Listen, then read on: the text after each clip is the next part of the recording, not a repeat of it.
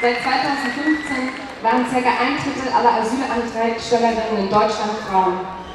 Diese sind leider immer wieder mehrfachen Diskriminierungen durch Sexismus und Rassismus jeden Tag in Deutschland ausgesetzt. Die Organisation International Women's Space organisiert sich gegen die Ungerechtigkeiten im Asylsystem und gegen eine ungerechte Migrationspolitik, insbesondere für Frauen. Die Gruppe unterstützt einander, macht alltägliche Rassismus- und Sexismuserfahrungen sichtbar und erzählt die Geschichten von Frauen und ihren Kämpfen. Wir heißen willkommen Jennifer, Jennifer Kammer. Herzlich willkommen.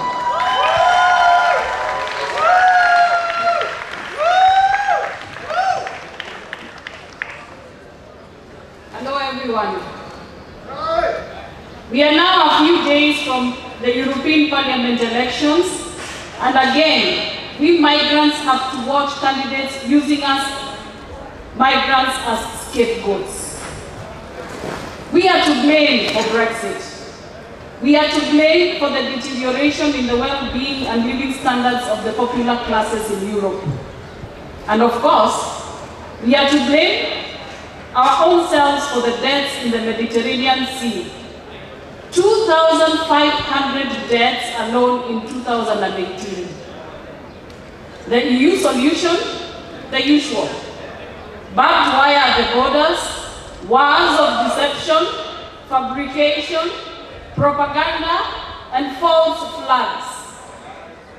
The message, stay where you are.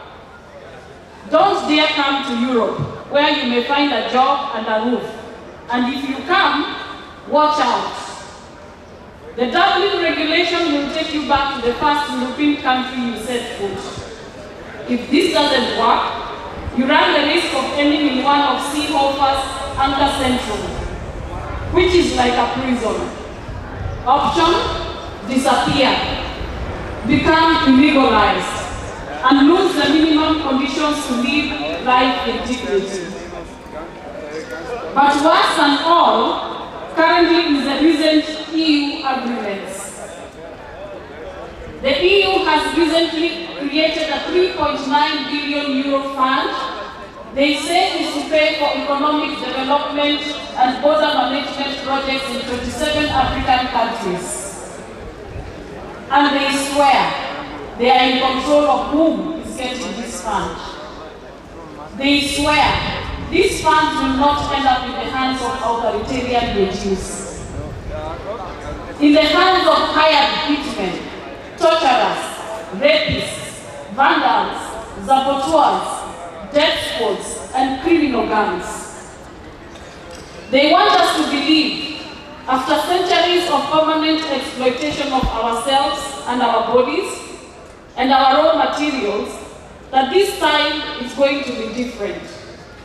They want us to believe that the empire is ready to deal responsibly and respectfully with Africa, for example. Oh, and how cynical are the terms they use to sabotage millions of lives. Better migration management. We want to address root causes of destabilization. Come on, if you want to address root causes, by getting your hands out of other countries.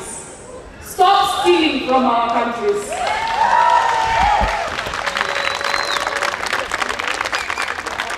Stop stealing from our countries which are rich in raw material.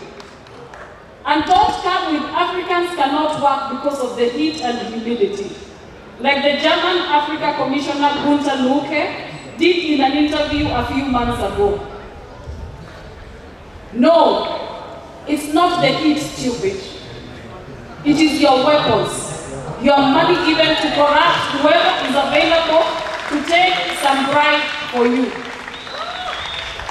We migrants are not responsible for your peace adoption of neoliberalism and the rule of market, allowing the ruling classes to increase their wealth and income.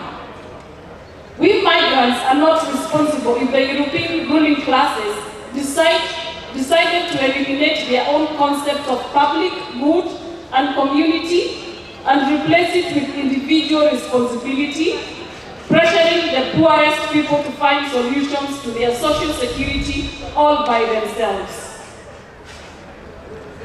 In fact, we migrants would be your potential allies. Because for one, we understand very well what is genuine social injustice, economic hardship, and unemployment. And we should be standing together against the fascists.